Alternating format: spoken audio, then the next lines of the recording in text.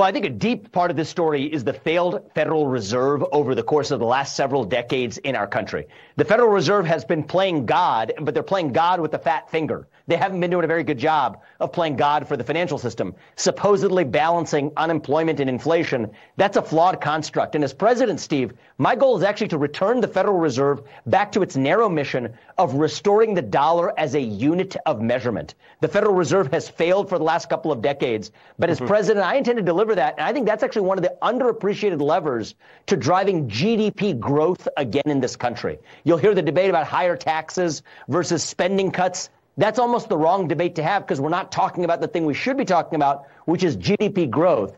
And in weird ways, the Federal Reserve has actually become an obstacle to GDP growth itself. That's one of the objectives that I expect to deliver as U.S. president. And again, more about the agenda at Vivek2024.com.